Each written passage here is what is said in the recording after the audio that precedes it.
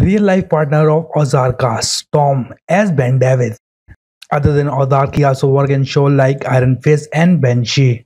Recently, he's dating Blindspot actress Jaimie Alexander. They both met on the set of Blindspot. They started dating in 2018. Julia Garner as Ruth. Other than Ozark, she also worked in The American, The Dirty John, The Assistant. She also won an Emmy Award for Supporting Actress. She married her boyfriend Mark Foster in December 2019. Her husband is the lead singer of the band Foster the People.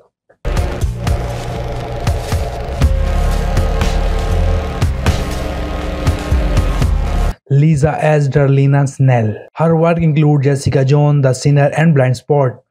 She was married to actor Josh Peck for 13 years. They got divorced in 2003. They have a son, Zen. Her son is also an actor like her mother. They also share a screen in movie Margaret at the Wedding. Laura as Wendy Byrde.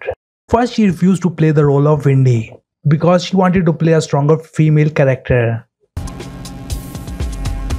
She was married to actor David. After five year marriage, they got divorced. She also dated actor and director Eric Stoltz. She got married to a real estate agent Mark in 2009. In 2014, their first son was born. Janet as Helen Pierce. She married Joseph Coleman in 2010. She was introduced to him by her American agent. Jason as Marty Byrde. Jason started his acting career at the age of 12. He began acting on television in the 90s on Little House. He's a father of two beautiful daughters. He's married to Amanda. She's also an actress. She's she's known for her work on Buffy the Vampire Slayer, Taxi and Lost Highway.